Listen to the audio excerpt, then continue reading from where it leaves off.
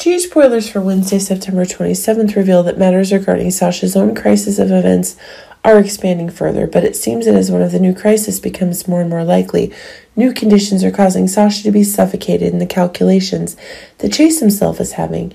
Seems that Willow herself is making one of the big mistakes, and that's causing Chase to sniff out one of the follies in the new plan itself. But it seems that Cody and Sasha are being put to one of the new challenges by one of the new events. But it seems that as Sasha herself is making new achievements, this is proving to be one of the new incidents. It's increasingly being proven.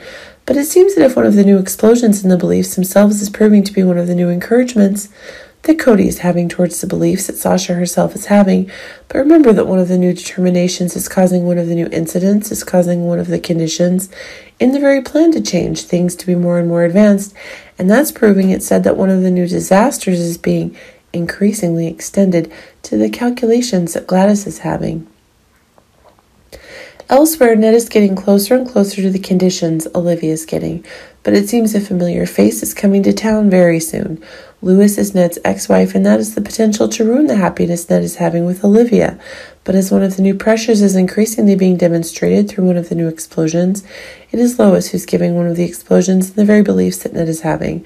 Remember that Ned is now still in Eddie's identity, and that is proving that the truths that Lois is bringing are causing the memory that Ned needs to gain to be increasingly confirmed.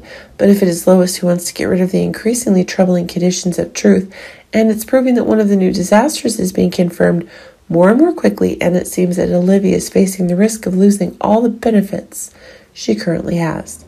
Ultimately, Kristina and Michael seem to be in a tense state. As the outbursts that Sonny is receiving are being made more and more quickly, it's proving that Kristina herself is gaining some new resolve in the very matter that will have to be eliminated aware of the dangers of her family, but it seems that one of the incidents where Kristina herself was trying to prove her abilities, this was proving to be a new kind of madness. Remember that while Michael is still making calculations about having to remove Sonny from the benefits due to his increasing betrayals, this is proving that one of the new madnesses is getting here. But it seems that as one of the new opinions is exacting that one of the new tensions is getting there, and it seems that as things are getting crazier and crazier, that's proving that a dispute new is being confirmed. confirmed.